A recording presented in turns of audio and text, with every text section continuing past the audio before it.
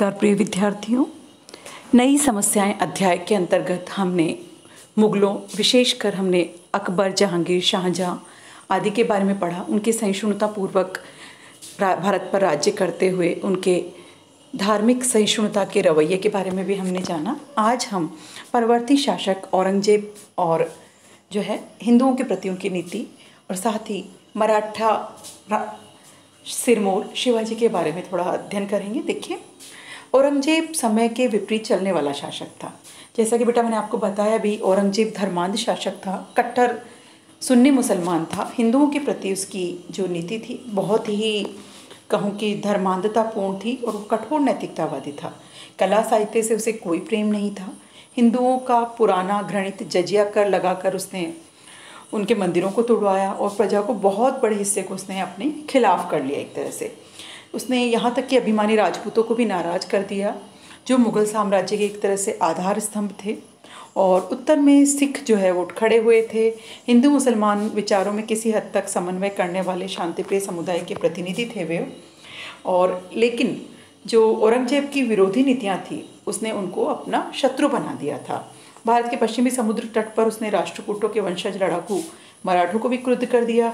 ठीक ऐसे समय में जब एक अद्भुत सेना नायक उठ खड़ा हुआ, और वो हम सब जानते हैं, शिवाजी राजे थे, मुगल साम्राज्य में दूर दूर तक फैले क्षेत्रों में उत्तेजना फैल गई और पुनर्जागरणवादी विचार जो थे, वो पनपने लगे। धर्म और राष्ट्रीयता के मेल ने, मेल हो और तत्वों से शक्ति और संबद्धता हासिल की, लेकिन उनकी कमज़ोरी भी इसी मेल से पैदा हुई। वह केवल खास किस्म की आंशिक राष्ट्रीयता थी। कहने का अर्थ बेटा यही है कि इसी समय अठारह, सत्रह में वॉरेन हेस्टिंग, देखिए क्या लिखते हैं कि हिंदुस्तान, दक्कन के तमाम लोगों में से केवल मराठा के मन में राष्ट्र प्रेम की भावना है और उसकी गहरी छाप राष्ट्र के, हर व्यक्ति के मन पर है। मतलब मराठे जो थे वो राष्ट्रवाद की भावना से ओत प्रोत होकर के अब उठ खड़े होते हैं। मुगल साम्राज्य के खंडित होने का महत्वपूर्ण कारण आर्थिक ढांचे का चरमराना भी है। किसान बार बार इस समय विद्रोह कर रहे थे और आंदोलन जो थे वो बड़े पैमाने पर हुए। बेटा, इस समय दिल्ली के आसपास सतनामियों का विद्रोह, जाटों का विद्रोह मतलब अलग अलग क्षेत्रों में जो कृषक समुदाय है, वो भी विद्रोह पे उतर आया।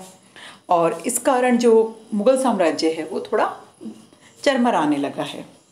और इसी समय शिवाजी, जिनका जन्म सोलह ईस्वी में हुआ था, और पहाड़ी इलाकों के सख्त जान लोगों के आदर्श छापामार नेता थे वे और उनकी जो नीतियाँ थी वे हिंदू राष्ट्रवाद को भी जो है पोषित करती हैं।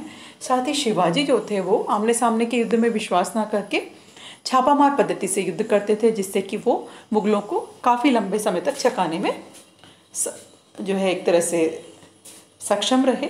अब देखिए 1707 में औरंगज़ेब की मृत्यु होती है और सौ वर्ष तक भारत पर अधिकार के लिए संघर्ष चलता रहा। अठारहवीं शताब्दी में भारत पर अधिकार के लिए चार दावेदार हैं और इनमें भारत, भारतीय थे मराठे, दक्षिण में हैदर अली और उनका पुत्र